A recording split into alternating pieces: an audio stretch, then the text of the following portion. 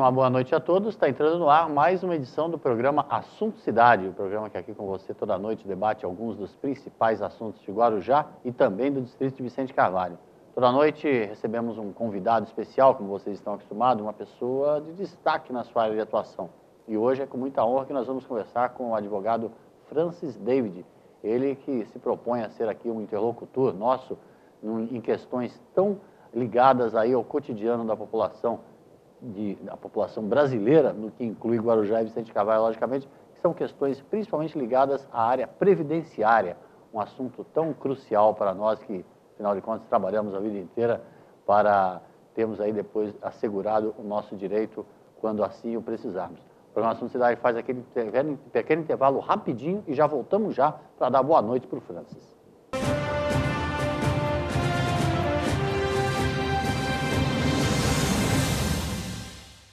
Há 22 anos no mercado, a Texa especializou-se em realizar sonhos e superar expectativas. A Texa garante excelência na execução dos mais arrojados projetos residenciais e corporativos, utilizando a soma da experiência de ambos segmentos em todas suas obras. A qualidade do residencial, a agilidade do corporativo e total gerenciamento resumem o produto que a Texa entrega a seus clientes. Litoral, Avenida Ademar de Barros, 1347, terceiro andar. Telefone 13 3308 1717. Grande São Paulo, Alameda Grajaú, 129, sala 309 310 Barueri. Telefone 11 24 24 81 17. Texa Construtora. Há 22 anos construindo sonhos.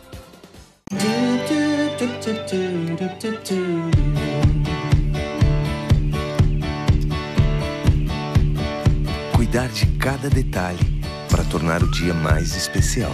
Esse é o plano Envelhecer com a certeza de nunca ficar velho. Esse é o plano. Transformar um sonho distante em seu próximo destino. Esse é o plano. Cuidar hoje do amanhã. Esse é o plano.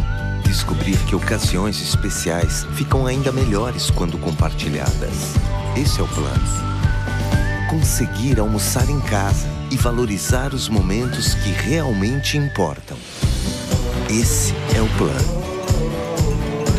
A Unimed sabe que seus planos são importantes para sua vida e se cuidar é a maneira de você realizar cada um deles. Cuidar de você.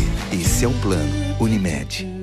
Prefeitura de Guarujá informa que em assembleia realizada no dia 6 de junho, o Sindicato dos Servidores aprovou reajuste para o funcionalismo. No último dia 17, o assunto foi discutido com os sindicatos que representam todas as categorias e vereadores, o que resultou em nova proposta de abono. Nos últimos seis anos, a administração vem valorizando os servidores, inclusive professores, que hoje recebem os melhores salários da região. No entanto, o Sindicato dos Professores insiste na greve. A Prefeitura entende que as aulas devem ser retomadas urgentemente. Nossos alunos não podem ser prejudicados.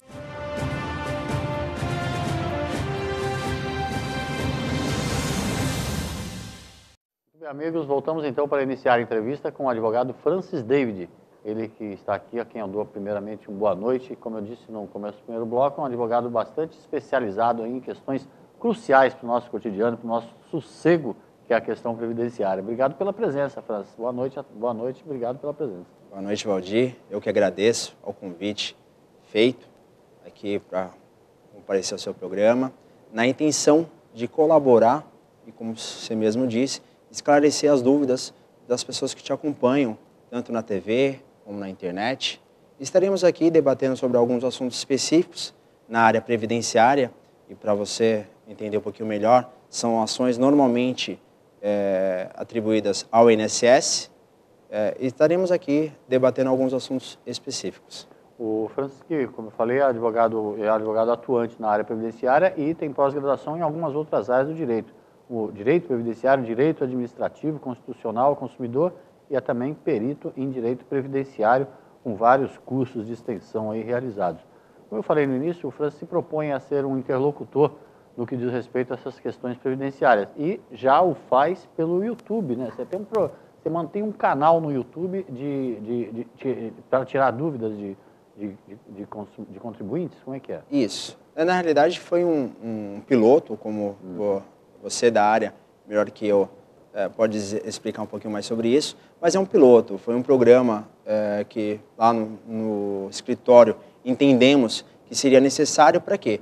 Para esclarecer não só aos nossos clientes, que muitas vezes existe a dúvida, mas também para os, os, os internautas. Porque hoje a gente entende que com a revolução da internet, é, provavelmente daqui a um tempo, a pessoa não vai trocar o canal, mas sim vai trocar o site. E aí com o YouTube a tá. gente consegue tirar as dúvidas dos nossos, de quem nos acompanha, dos interessados e das pessoas no geral. O programa chama Ato Jurídico. É, programa Ato Jurídico. Tá. Por enquanto ainda é um piloto, é, esperamos aí com, com alguma, um, um tempo é, o mais rápido possível estar oficializando o programa e assim trabalhando em cima dele. Certo. O Francis, o, a previdência, a questão previdenciária é uma questão a ser tratada de preferência com o advogado? Sim. É, por quê? Uhum. Porque na, é, normalmente a pessoa que tem o seu problema, ele vai até o INSS. Até aí perfeito, até aí normal. É, só que quando chega no INSS, infelizmente não há o atendimento que deveria existir. Sim. E aí, às vezes, com a falta de um documento, com a falta da cópia de um documento, o funcionário do INSS ele já barra uhum. o segurado. O que de, deveria melhor atendê-lo, ele já elimina, já é, fala, ó, volta para casa, traz, esse, traz essa documentação e que na maioria é, dos casos deveria existir o quê? Se eu recolho a sua documentação, o que estiver faltando, uhum. você vai me trazer em 10 dias. Certo. Isso facilitaria muito as situações junto ao INSS. Uhum. E, que, é, e que, infelizmente, os segurados, as pessoas que nos assistem, é, não sabem, não tem é, como saber também, Entendi. e acaba sendo, de certa forma, constrangido junto ao INSS, que é essa palavra hoje utilizada, constrangimento, por quê? Porque o funcionário vai dizer assim, ó, não, está faltando isso, isso, isso. Quando estiver pronto, uhum. você vem aqui e traz que eu dou entrada e quando dá a entrada, mesmo assim, não tem o seu direito adquirido. Então, nada melhor, é, não só um advogado, Valdir, isso é importante salientar, tem que ser especializado. Claro. É uma coisa que, que a gente vem aí é, defendendo já há algum tempo, não só na área previdenciária, uhum. em todas as áreas do direito, na área previdenciária, na área tributária, na área criminal, uhum. na área de família, que as pessoas comecem a contratar os advogados não só porque é um advogado, uhum. e sim porque é um especialista da área. Uhum. Porque às vezes é, existe diversos problemas enfrentados no seu dia a dia, uhum. por quê? Porque a pessoa contratou um advogado e não um especialista da área. Entendi. Exatamente. Então o ideal não é só é, contratar um advogado, sim contratar um especialista da área. Essas idas e vindas que o segurado muitas vezes é, acaba sendo posso chamar de vítima, é. ele, ele fica praticamente num jogo de uma, uma gangorra, né? Ele leva um documento, volta, falta outro documento, falta a foto, está errada. Quer dizer, tudo isso é, é, são, é, é, um, é um sistema burocrático, Sim. ficou burocrático demais Sim. a ponto de ser melhor, hoje em dia, trabalhar com um advogado especializado, como você falou, para evitar de uma vez. Afinal de contas, é um direito, só que é um direito que deve ser buscado de uma forma organizada, o que o advogado especializado contém. Sim. É, lá no escritório nós temos diversos é, casos e exemplos de pessoas que ficaram aguardando um, dois, três, dez anos para ter seu direito garantido. E era e estava tudo certo. Estava é, tudo certo. Tudo certo modo de falar. É, era direito adquirido. Era direito adquirido. Era o que bastava. Bastava juntar a documentação certa, uhum. que o próprio funcionário do INSS deveria é, orientá-lo só que não, não faz da melhor forma. É, já tinha todos os documentos ali, às vezes é você juntar é, um mais um para dar dois ali e você vai levar a documentação. Só que infelizmente isso não acontece. Tivemos um caso há pouco tempo de uma senhora que estava aguardando há 10 anos para receber a pensão por morte. Pensão do, do, do, do, marido, do marido, que havia falecido. Uh, 10 anos. 10 anos. Lá no, no interior uh, de Minas Gerais tinha falecido e ela já tinha ido no INSS duas vezes, duas vezes, já tinha ido em quatro advogados uhum. e tanto o INSS como os quatro colegas de profissão disseram, não, a senhora não tem direito, porque a senhora não consegue comprovar que realmente ele estava trabalhando. Um engano. Por quê? Porque na carteira de trabalho existia um vínculo. Realmente não existia o um vínculo junto ao INSS, mas a carteira de trabalho, sem estar rasurada, sem estar é, rasurada, com, é, faltando folhas, ela é possivelmente ela é aceita e deverá ser aceita. Então, ah. bastava um conjunto de documentos a mais uhum. para fazer prova e assim ela, ela ter o seu direito ad, ad, é, adquirido e conquistado. Porque depois de 10 anos saiu o, a pensão por morte e ainda saíram os atrasados. Por quê? Porque ela era mãe de um filho menor e, e nesse caso o benefício foi, foi para o filho. Ou seja, a, a, essa burocracia deixa a pessoa praticamente refém do, de, de comprovar aquilo que para ela é óbvio, né? Meu marido morreu e eu tenho um filho para sustentar. É, exatamente. Isso é o que é o pior. Não é só provar o seu direito, é provar a sua situação financeira. É. Porque hoje, hoje em dia, graças a Deus, é, os maridos e as esposas já conseguem dividir bem uhum. o, os pagamentos, o orçamento, de, é, o orçamento familiar. Exato. Só que lá atrás, se a gente começar a falar de 10 anos atrás, o, o que acontecia? O marido ia trabalhar e a esposa ficava dentro de casa cuidando dos filhos. Uhum. Então, quando na ausência do, do pai, do, do, do, genitor, a família fica refém. Então, não é só ter o direito uh, não concedido, mas sim toda a estrutura familiar e financeira daquela família. Certo. O, o Francisco, a gente podia é, enumerar alguns, alguns temas, assim, alguns tópicos da, da questão previdenciária que você pudesse estar esclarecendo o telespectador? Poderia? Sim, claro. Por exemplo, o auxílio-doença. O auxílio-doença é talvez uma, uma coisa assim mais cotidiana. Dizer, o, o trabalhador, nós estamos sempre, é, é, sempre bom frisar que nós estamos falando de trabalhador com carteira assinada, né? É, não, é, não necessariamente. Ele pode ser tanto o, o facultativo, tá? e como o funcionário com carteira carteira assinada, carteira é, assinada. O, é, o, que, o, trabalhador regular e o facultativo é aquele que contribui que, voluntariamente. voluntariamente que paga um carnê que, que, paga o carnê. Tá, mas nós estamos falando de segurados segurado, segurado é, todos todos são segurados uh, da previdência. E até aqueles que não contribuem certo. que são os casos dos uh, servidores uh, segurados rurais aquelas pessoas que trabalham em área rural aquelas não aquelas elas acabam não contribuindo mas são seguradas por por estar é, trabalhando na área rural. Certo. O, o auxílio-doença ocorre, ele pode ser concedido em que situação? É, desde... Acidente, ou, ou, não é o caso de acidente? Acidente é outra coisa? É, na verdade são dois, são, são, são dois critérios, né? Tá. O primeiro, ele está segurado, e o segundo é a incapacidade dele de trabalhar. Essa incapacidade ela pode ser tanto total como parcial. Hum. Então, a partir do momento que a pessoa é, não, cons não consegue trabalhar, e ela é segurada do INSS, ela já faz jus ao, ao benefício que, no caso, é auxílio-doença. Tá. E aí, a gente sempre comenta no escritório, e eu digo aos meus clientes que o meu trabalho como advogado especialista na área inicia-se a partir do momento que o médico dela, do cliente, da, da pessoa, atesta que ela realmente está incapaz. Uhum. Porque não adianta eu é, dizer a ela que ela está incapaz. Não adianta é ela dizer é. que ela está incapaz. Tem que, tem que ter, sim, um médico, que é médico especialista da área, né? Nós tá. temos aí ortopedista, temos neuro, que diz o seguinte, ó, a senhora nesse momento não tem condições de trabalhar. E ele só vai atestar isso a partir do momento que fazer um exame clínico nela e, e, e mais, buscar exames externos, é, que é a rádio, que é a outra. Hum. Né? A partir do momento é, dele analisar os exames e fazer a comprovação clínica nela, ela vai, ele vai realmente atestar. Por quê? Porque é responsabilidade dele. Então, a partir do momento que ele atesta que ela não tem condições de trabalhar, ela está incapaz, ou total ou imparcial, aí sim inicia o trabalho do, do advogado, e aí sim a pessoa tem o direito de resgatar o, seu direito adquirido junto ao INSS, que é o auxílio-doença. O auxílio-doença ele é equivalente ao salário que ele recebia?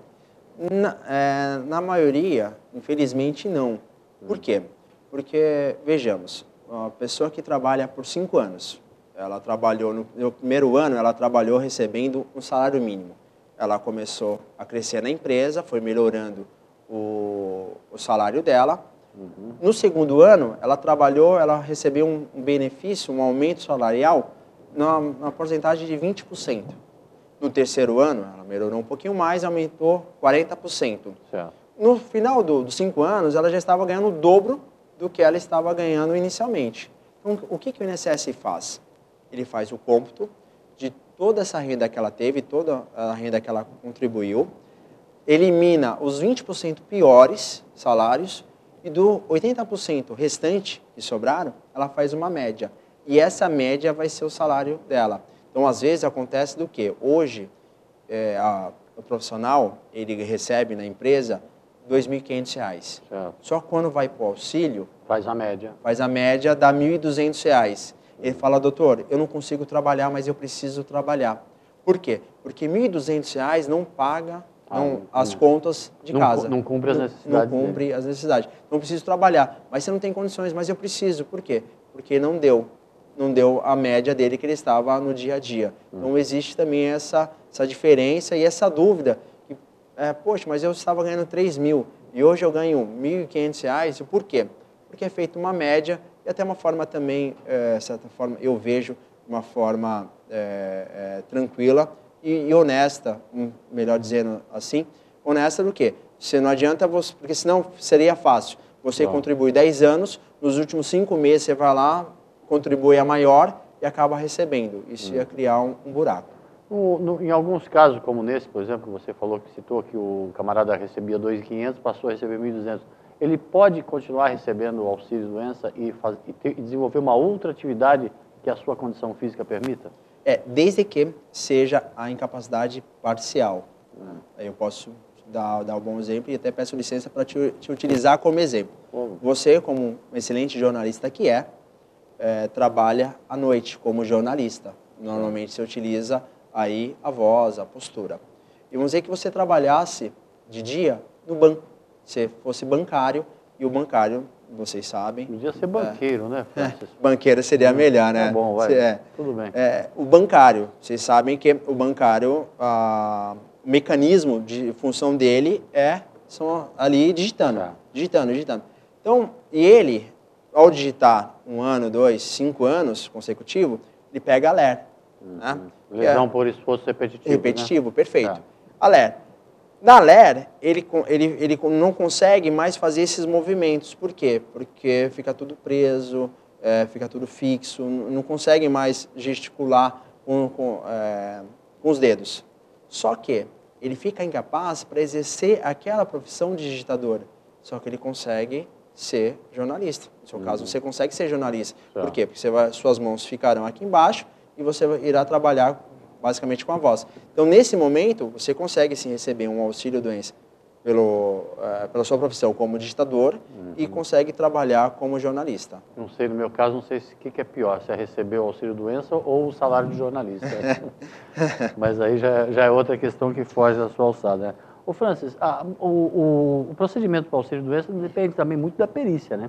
Perícia. Perícia, Que é, é onde todo mundo, muita gente reclama, né? é, perícia hoje, quem frequenta um pouquinho das agências do INSS diz, diz que a, a perícia é um karma.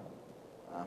Tem pessoas que passam pela perícia de três, quatro vezes ao ano, ou tem pessoas que, que passam uma vez só no ano. É, realmente, é difícil, é uma perícia difícil. Por quê? Porque é, o, o segurado comparece na agência, espera aí duas horas para ser atendido e quando é atendido, o médico mal olha no, ah, rosto do, do segurado e já diz, ó, você está capaz de trabalhar, volte a trabalhar. E, e mais, hum, é, não pega nem os exames, o que o pessoal muito reclama, que não pega nem os exames. Ah, levei diversos exames, ele nem olhou, ele nem, nem fez pergunta, só olhou para mim, viu que eu estava andando e já me deu alta. Mas, por outro lado, Valdir, a gente também, é, também não, não podemos só crucificar o perito. É, porque hoje, cada agência existe dois, três, quatro peritos. E eles têm que atender, em média, por dia, 200, 300 pessoas. É um problema de estrutura da de estrutura. Previdência. É um problema de administração no geral. Né? Hoje, é, a administração aí tem diversos problemas e no INSS não é diferente. Então, a, a estrutura, a forma administrativa que hoje o INSS ele exerce, realmente deixa o perito com dificuldade. Por quê? Imagina, é, tem que atender numa manhã, das 7 às 11, tem que atender 80 nego. Uhum. É, 80 segurado, 80 pessoas, 80 clientes. Então, é difícil, é complicado. Então, é, tem, tem esse lado do segurado que realmente é um, é um grande problema, porque ali é o momento dele demonstrar realmente que ele está incapaz, só que também, por outro lado, tem, tem um perito que também é, acaba sendo refém da situação. O ideal aí seria, então, a, a readequação da, do sistema previdenciário no sentido de garantir mais postos de trabalho pra, em algumas funções essenciais, como, por exemplo, na perícia. Né? Exatamente. Não só na perícia. É, também uma dificuldade que, que, hoje a gente encontra é, muito é a questão da reabilitação profissional. Porque, às vezes, a pessoa realmente, voltando ao exemplo que eu dei do bancário, ele não consegue é, exercer a função de, de caixa. Hum. Só que ele consegue fazer um, um, um trabalho administrativo, né, sem ter que digitar muito. Então, mas só que não existe no INSS essa reabilitação profissional. Então, o que a falha é, não só na parte de perícia, mas também na parte do depois, o pós, que é a reabilitação profissional. Ajudaria aí até a equilibrar as finanças da Previdência, no caso, se houvesse esse tipo de programa, por exemplo. Sim, sim. É, uma, é na verdade, é uma falha administrativa no geral e que acaba onerando uh, uma parte, descobrindo a outra. Por quê? Porque se realmente fizesse não só é, a perícia do jeito que deveria ser, correta, uhum. para a maioria dos segurados, e também é, a gente também enfrenta diversas reclamações da, daqueles que falam assim, ah, eu tenho um problema de saúde, eu não consigo realmente trabalhar, mas o meu vizinho não tem nada, joga bola todo domingo e está afastado. Como que é isso, doutor? Uhum. Então, existe essa indignação também desse lado do segurado. Ah, eu tenho um problema, eu não consigo trabalhar, estou tentando o meu benefício, estou tentando o meu afastamento para quê? Para eu me tratar. Claro. E não consigo e aquele, aquele meu vizinho que joga bola todo domingo, ele está afastado, mas ele consegue jogar bola, ele consegue fazer tudo. Né? Ele conhece, conseguiu algum truquezinho lá que permitiu a ele que ele, ele tivesse segurado. É, eu não quero encarar como truque, Valdir, eu quero encarar, eu encaro como falha, tá. falha da administração. Duas falhas no caso, aquele que precisa não, não consegue Sim. e o que não precisava consegue. Sim. É uma falha geral da administração. O Francis, vamos fazer um pequeno intervalinho, mas voltamos já já conversando com o Dr. Francis David, ele que é advogado especializado em questões previdenciárias e está nos ajudando aqui, esclarecendo algumas dúvidas do telespectador com relação a esses temas. Voltamos já já falando desses assuntos previdenciários também, aposentadoria, desaposentação, todas essas coisas aqui que o Francis está nos ajudando a esclarecer e ajudando você, principalmente nesse assunto tão complicado. Voltamos já já com a programação de cidade. Fique conosco.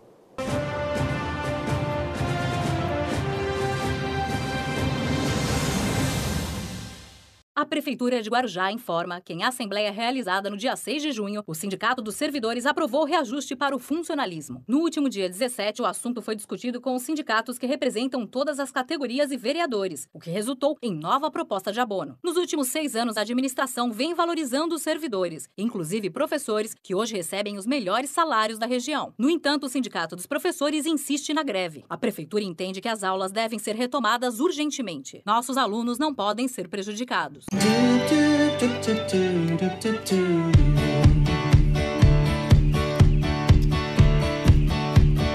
Cuidar de cada detalhe para tornar o dia mais especial.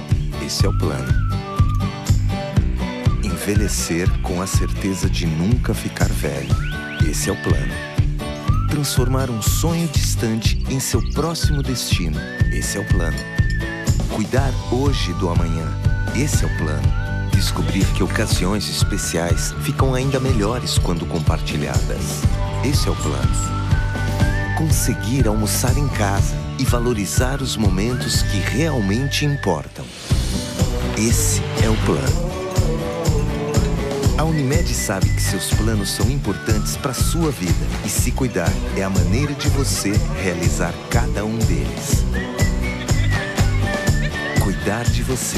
Esse é o plano Unimed.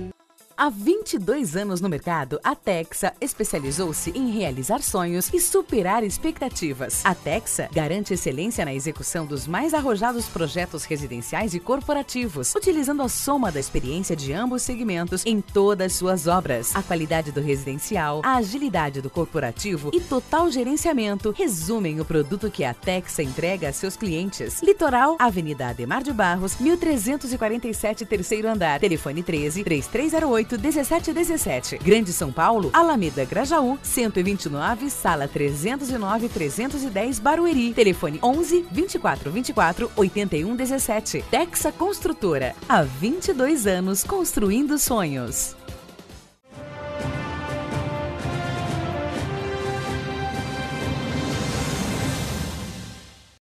Bem, amigos, voltamos para mais um bloco do programa Assunto Cidade, hoje entrevistando o advogado Francis David, ele que é especializado em uma questão que mexe diretamente com o nosso cotidiano, principalmente na hora que a gente começa a ficar com os cabelos brancos ou na hora que a doença nos, nos aflige, que é a questão previdenciária. O, o Francis estava explicando aqui no primeiro bloco todas as nuances e che, é, chegamos, chegou-se à incrível conclusão de que o sistema previdenciário se tornou tão burocrático, tão complexo, que o melhor mesmo é você se munir da presença, da companhia de um advogado especializado. Não adianta ser um, só um advogado, como o Francis explicou. É, é preciso que o advogado seja especializado no tocante a questões previdenciárias, principalmente na, na obtenção aí dos seus benefícios aos quais tem direito. O Francis, deixa eu te perguntar uma coisa rapidamente, assim, fazendo o papel do advogado, do, do, do não do advogado, do, do outro lado. Uhum. Custa caro contratar um advogado para resolver, às vezes, uma questão ali previdenciária? Não, não custa caro. Vejamos. Vale, é... É, é, o custo-benefício, é, sim, logicamente, é, sim, é, interessante. Sim, sim. É, tem que colocar na balança, tá. porque, Valdir, é, você conseguir o seu benefício e garantir o seu direito, uhum. né?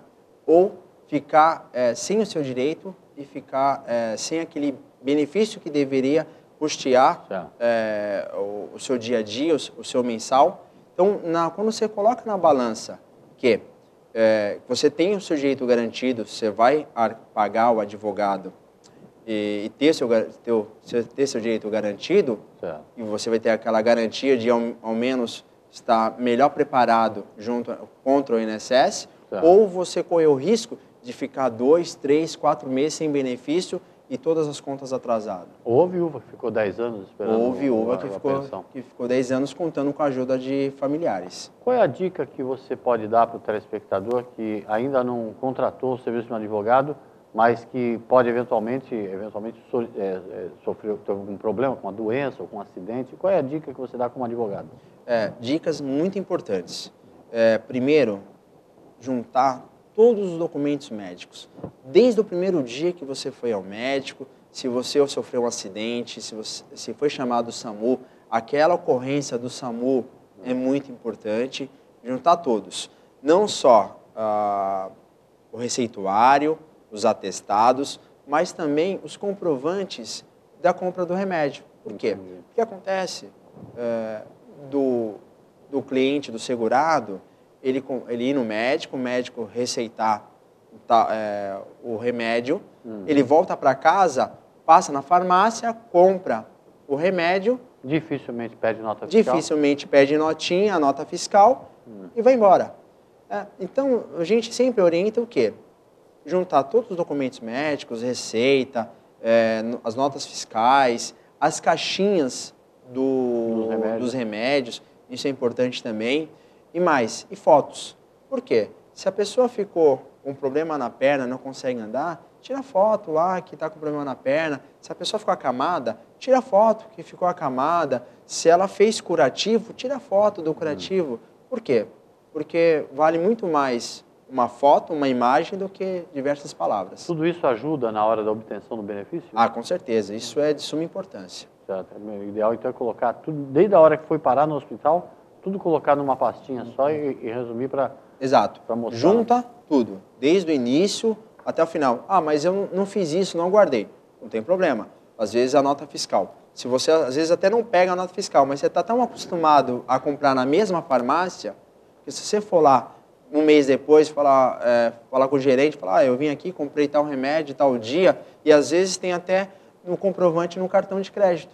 Uhum. Ó, fiz essa compra aqui, comprei tal remédio. Ele vai lá e faz uma notinha depois para você. Porque a obrigação é, não é do, do segurado pedir, mas sim da empresa é, enviar a nota fiscal. Então, aquela nota fiscal tem que estar guardada lá, é, lá a, nos seus arquivos. O Guarujá tem uma agência apenas para atendimento da, dos segurados da Previdência Social. Isso. Não é pouco?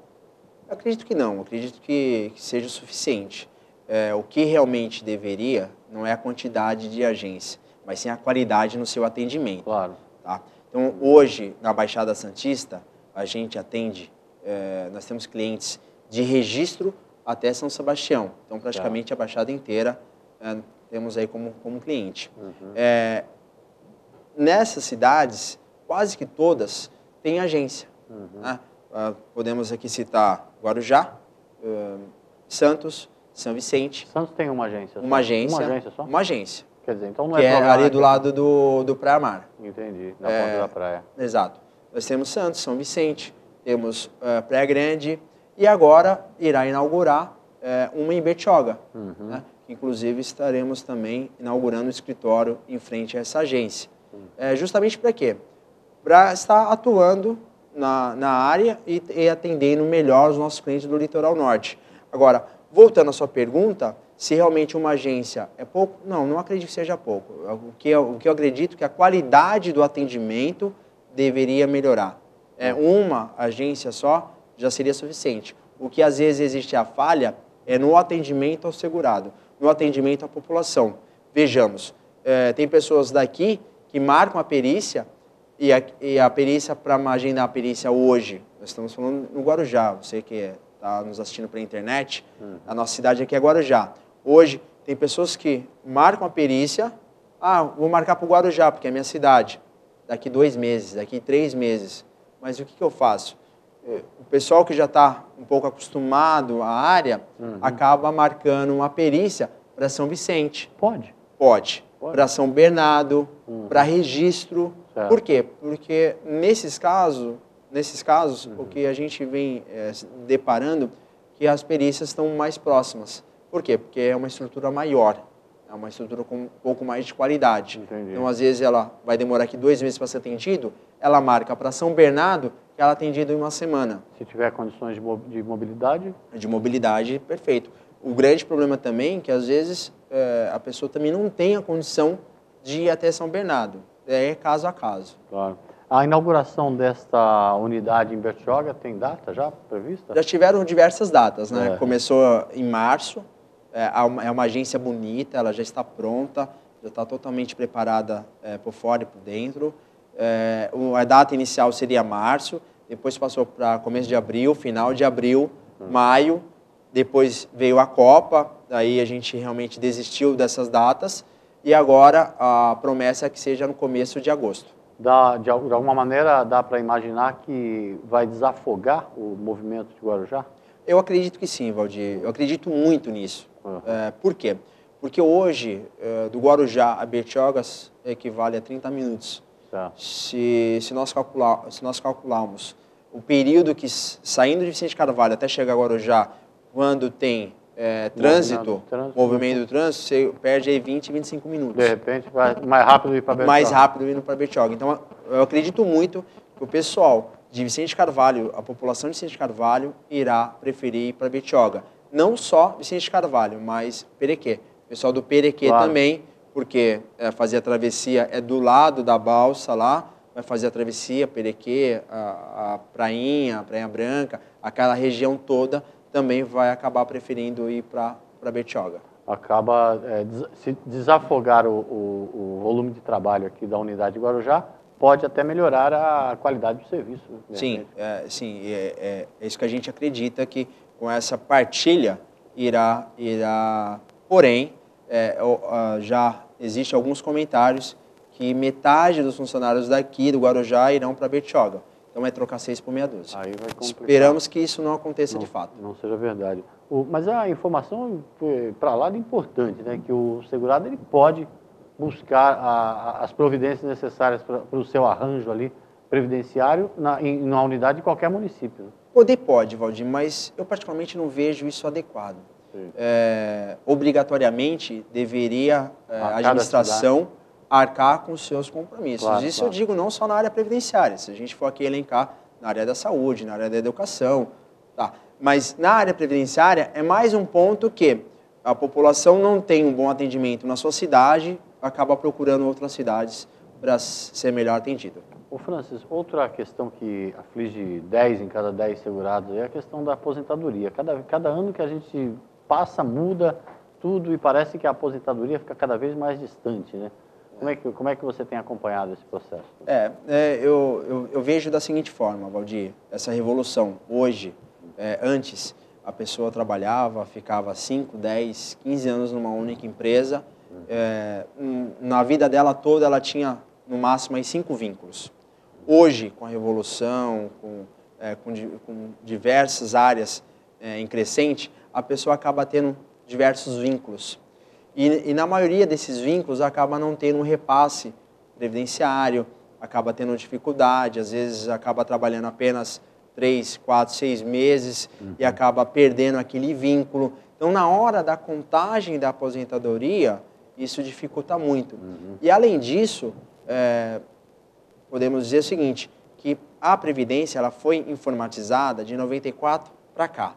O que, o que tem de registro de 94 para trás é, é meramente arquivo. Então, se a pessoa não tiver realmente documentado o que ela trabalhou, que ela exerceu aquela profissão, fica difícil comprovar, porque no INSS não, não vai ter. Né? Por quê? Porque 94 para cá é, é- é informatizado. Entendi. Posso dar um exemplo. A questão aqui é, do Guarujá, dos patrulheiros, dos meninos que trabalharam no camping. Teve um período de 94 até, é, ali, aliás, desculpem, até 97, que não era obrigatório o registro para os patrulheiros, e aí você deve conhecer diversas pessoas que trabalharam no camping como patrulheiro, Eu próprio. é, eu também sou, sou um, é, que não tiveram registro. Certo. Então, não tiveram registro, hoje, se você for dar entrada no INSS tentando garantir esse teu direito, você, ó, eu trabalhei um ano, Claro. eu quero esse um ano de contribuição, Sem mas não contribuiu. Mas a lei não fala a contribuição, a- lei fala o trabalhador. Quem tem direito é o trabalhador. O que tem que provar é o trabalho.